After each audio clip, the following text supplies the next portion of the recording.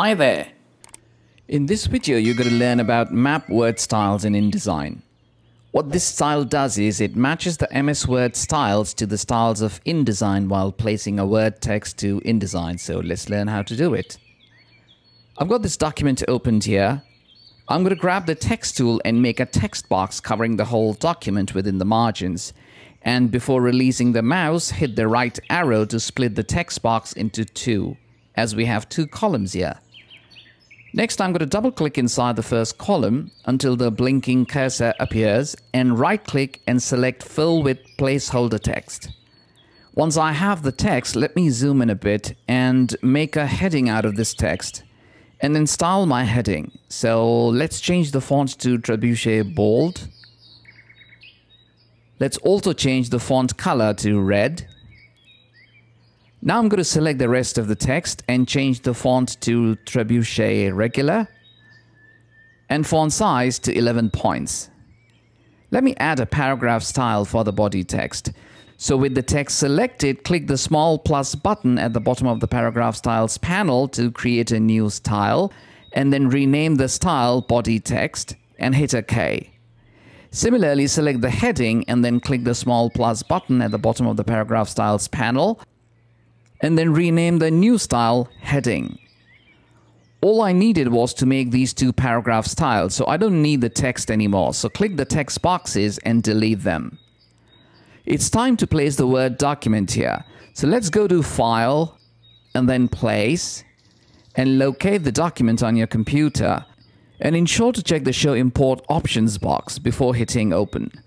So this option will not straight away impregnate the cursor with text, it will throw the options window first. On this panel, ensure that Preserve Styles and Formatting from Text and Tables radio button is selected and hit OK. There is a good chance that you'll get an error message like this regarding the missing fonts, but we need to ignore this because we'll anyway map the word styles to the local paragraph styles of InDesign. So let's hit skip and you shall find the cursor loaded with text now. To fill both the columns together with text, hold Shift and then click at the top left corner of the first column and your text shall be placed into the document. It is highlighted with pink because of the missing fonts, but like I said, don't worry, we got to fix that in no time. If you look closely to the paragraph styles panel, you'll find that the two word styles have also been imported, which we don't need. So click the heading 1 style and click the trash icon sitting at the bottom right corner of the paragraph styles panel and InDesign will send you a notification asking you to replace it with some other style. And I hope you remember we made two styles in the beginning of this lesson. Click the drop down and replace it with heading style and hit OK. And you shall find all the headings taking effect of the local InDesign style we created. Similarly, select the normal style that came from Word and click the trash icon to delete it.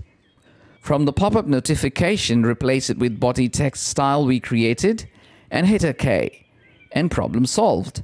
You have successfully mapped the word styles to the InDesign styles. There's another way you can do this, so let's hit Command Z on a Mac or Control Z on a PC a few times to undo the last few actions. Let's also trash the two imported styles from Word You'll get a warning like this, so just hit OK. Go to File, and then Place, and locate the same text document on your computer. Ensure that the Show Import Options is checked, and hit Open. In the Options menu, click the Customize Style Import radio button to activate Style Mapping option on the right. Click it to reveal another pop-up notification. From here, you can assign local InDesign styles to the MS Word styles. For the normal word style, click the drop down and select body text style. Similarly, for heading 1, select heading. For normal web, select body text once again. And the last option does not really require a replacement, so hit OK. And then hit OK once again to close the options panel. Hold Shift and click the top left corner of the first column and the text will be imported with the InDesign styles applied. Alright guys, that concludes our session today. I hope you've enjoyed it and have learned something new from it. So do like, share and subscribe to my channel. Until we meet again, goodbye and thanks for watching.